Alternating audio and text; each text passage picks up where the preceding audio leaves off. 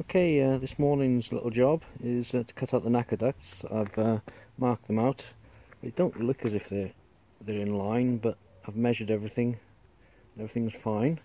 Um, ignore the the blue stripes. Um, I put them on there just with some vinyl. I'll be painting it properly um, because on the Martini Lancia Integrales, uh, it starts off thin here, then they go wider up to about there.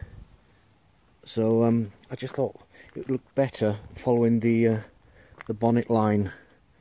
So yeah, I that's the way I'm going to go with it. Uh, right, oh, on another note, a bit of a semi-rant.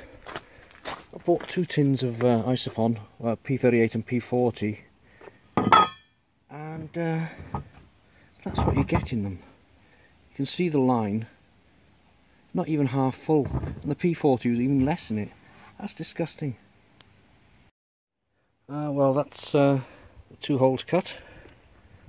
Uh, they'll be alright I think once it's all done. Um, that's how they'll stay now for this week. Then next week I'll do these two sides on both sides and take the bonnet off and then uh, duct them down uh, this one on this side is okay, that's straight to the air filter. This one on this side I'll have to duck round. That's fine, that's no problem. Nice job for next week. Now on with some more filling and sanding on the wing. Still lots to do, as you can see.